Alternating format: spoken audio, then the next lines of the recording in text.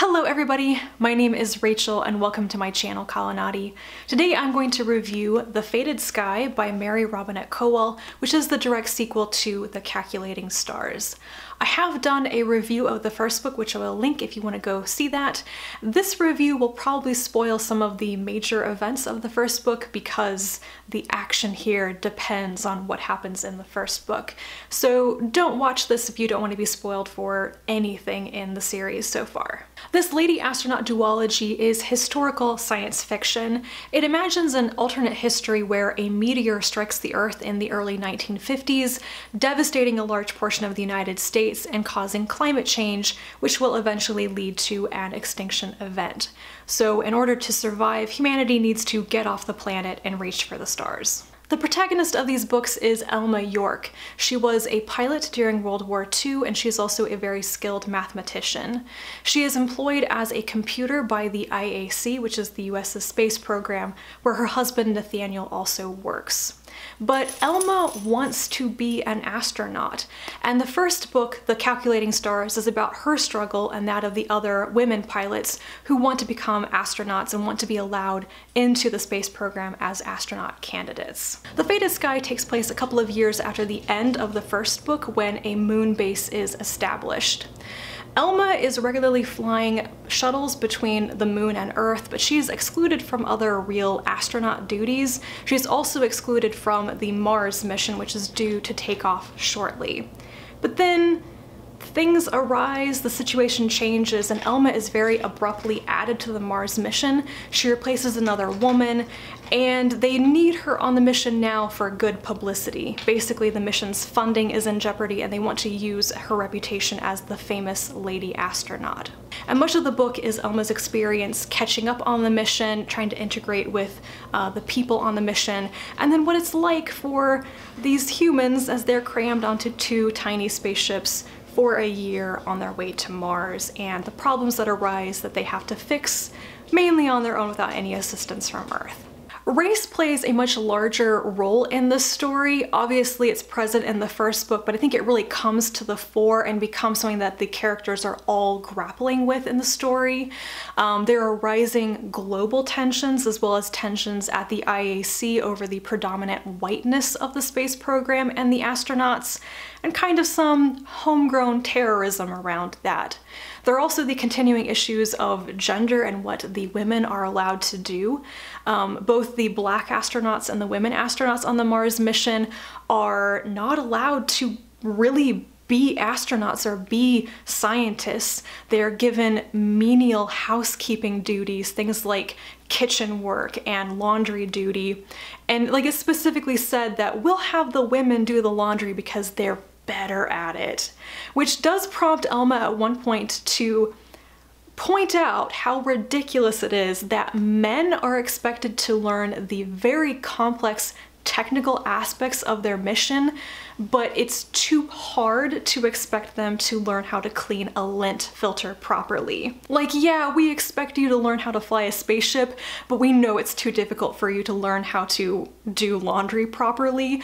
We'll just have the women do that instead. It's ridiculous. But part of this is because the, the black astronauts and the women are never allowed to be in a position where they could make a mistake that the public knows about.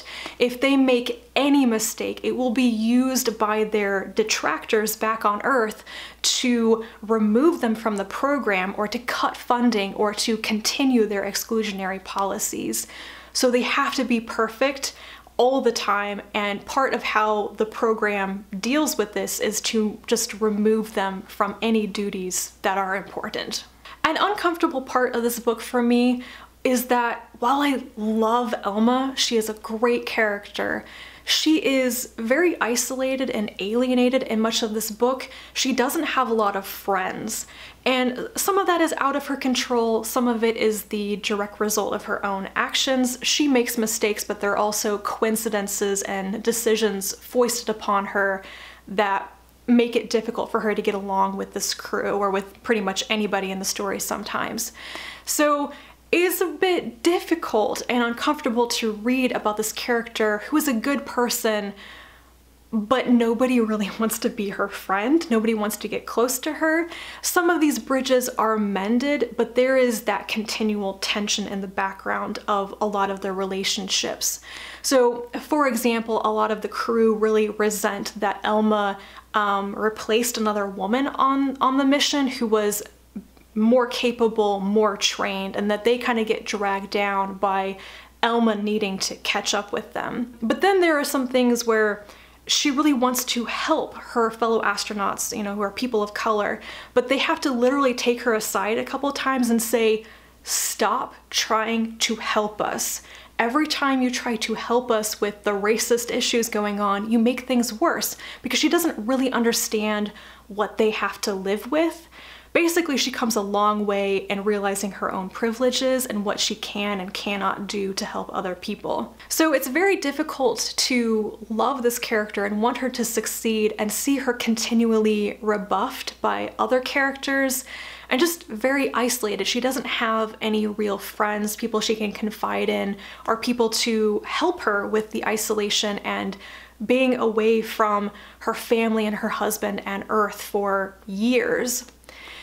And I kind of agreed sometimes that it was partly her fault. like, she's not a perfect character. The last thing that I want to talk about in regards to Elma's friction with other characters is Stetson Parker.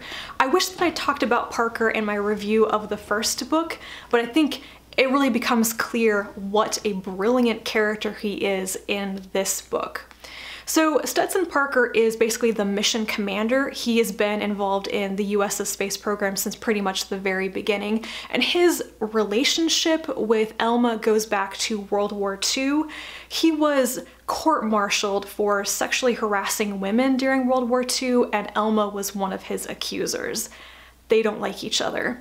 But as much as he is an ass, he is a very skilled professional jackass. And he is part of this mission for, for merit, you know, he earns his spot. He's just honestly a really unpleasant person.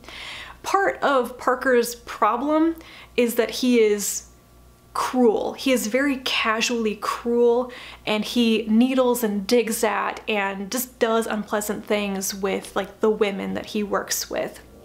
And I think his character is so necessary because it personifies some of the larger social attitudes of the time. He's a misogynistic dude, but he's also professional. And when against his objections, he has to start working with women. He does actually work with them professionally, but then he is cruel to them in these little ways and stuff. Um, so it's really easy to say that he is the villain. He is in many ways acting like a villain, but he's also a real person. How did Kowal write a character like that? I don't know.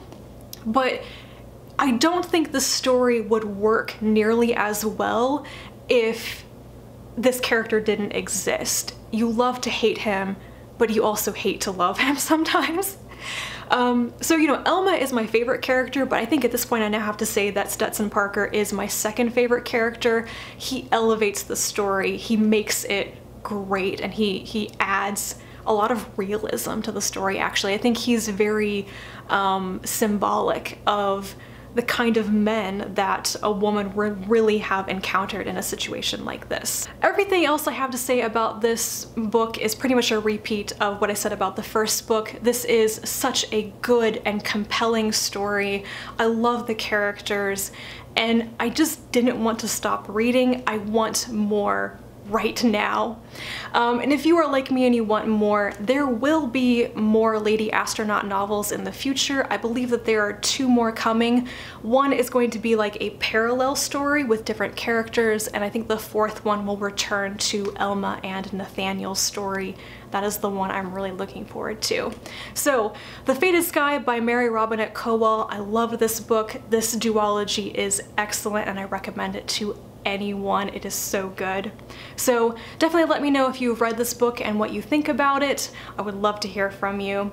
Thank you so much for watching and I will talk to you again soon and until then, bye.